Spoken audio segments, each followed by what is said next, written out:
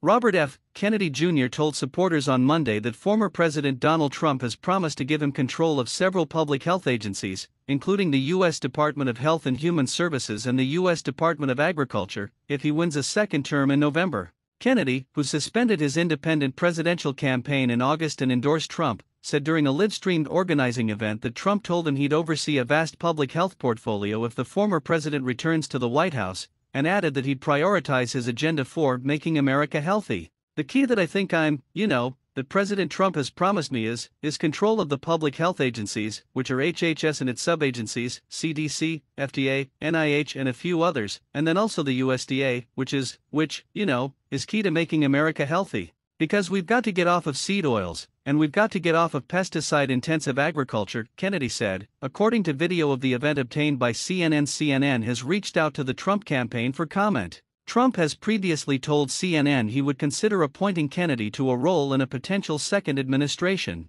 Following Kennedy's endorsement in August, Trump committed to including Kennedy on a panel that would investigate the rise in diagnoses of chronic diseases should he return to the White House. Kennedy serves on Trump's transition team and has been campaigning as a surrogate for him in key battleground states since exiting the presidential race. On Sunday, Trump said during a campaign rally in New York that he would let Kennedy go wild on food and go wild on medicines if he wins in November. Kennedy has been one of the leading proponents of anti vaccine conspiracy theories in the United States. He made false attacks on the safety and efficacy of vaccines and sharp criticisms of public health and agriculture policy a centerpiece of his presidential campaign.